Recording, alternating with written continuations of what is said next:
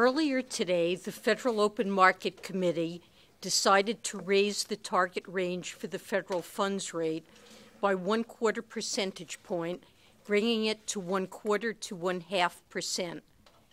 This action marks the end of an extraordinary seven year period during which the federal funds rate was held near zero to support the recovery of the economy from the worst financial crisis and recession since the Great Depression.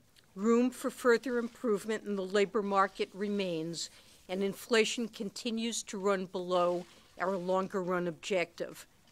But with the economy performing well and expected to continue to do so, the committee judged that a modest increase in the federal funds rate target is now appropriate, recognizing that even after this increase, monetary policy remains accommodative.